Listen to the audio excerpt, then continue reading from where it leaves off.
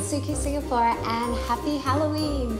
Um, I am here to talk to you about the Absolute Orange pumpkins Monoi Coconut Oil products from Hask. Love a bit of coconut.